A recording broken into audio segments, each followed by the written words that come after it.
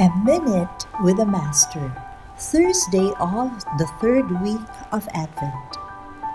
When Elizabeth heard Mary's greeting, the infant leapt in her womb, and Elizabeth, filled with the Holy Spirit, cried out in a loud voice and said, Most blessed are you among women, and blessed is the fruit of your womb.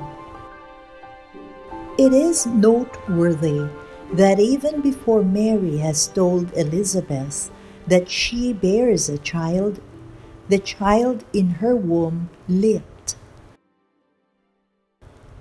Luke said that Elizabeth was filled with the Holy Spirit.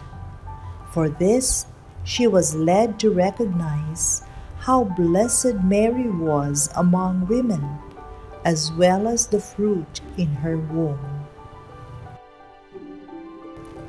How do we experience the presence of the Holy Spirit in our life? How does the Holy Spirit lead us to recognize the presence of the Lord and bless God?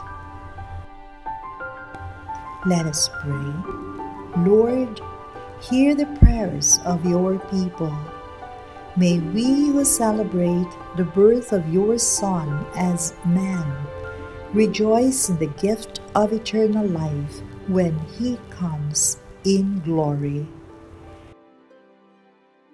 Jesus, Master, the way, the truth, and the life, have mercy on us.